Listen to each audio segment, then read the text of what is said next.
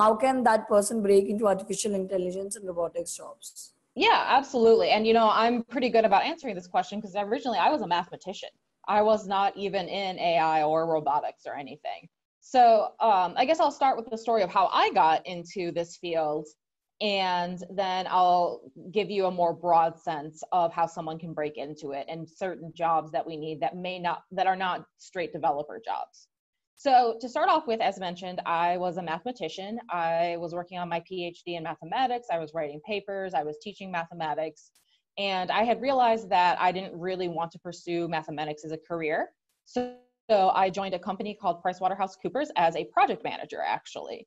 And they quickly realized that I was a very technical person, and they threw me on something called RPA, which I had no idea what those letters even stood for and that's really how i got involved was i just happened to be a technical person who liked programming and i was in a company that recognized that. To that end i would like to say that there's lots of jobs that are in artificial intelligence um, much like there are lots of jobs in it that aren't direct programming. Of course there is you know don't want to take that away from people who want to program. Of course there is the programming jobs that you're welcome to do that you'd expect um, but we also have the need for people who are architects. So the people who are not getting down and dirty with the code, but can architect or come up with a solution to an AI problem. That requires a deep understanding of AI as well. So, however, if you're totally not in this field, if you're in a field like business or something like this, you can also definitely come in as a project manager. We need people who can write requirements and understand what clients need or just in general what an AI project needs. So it's definitely, I think, the first step is, to have an interest and to state that interest. As mentioned earlier, AI is the future. So the more you're interested the more you show that interest and you try to pursue, you will find a role because it's going to be such a big deal in the future. Fantastic. Thank you so much. So, um, what do you think are the top three skills needed for an intelligence automation developer job? Sure. So, um, the first thing that I look for when I'm trying to hire people on my team is I look for people who are process oriented.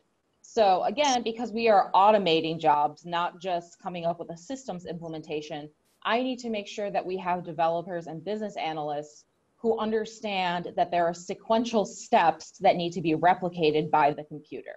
So I think as abstract as it sounds, understanding how a process works is the first step. Next, you obviously have to understand basics of computer science.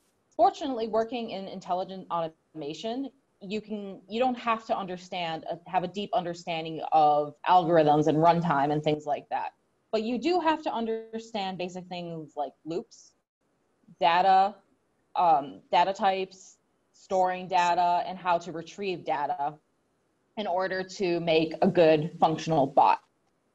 Finally, the last skill I would say you need is a very close, uh, the ability to read very closely to details. Because again, because since you're automating something, you need to be able to replicate that almost perfectly so if you aren't the type to pay attention to details, this is not the job for you.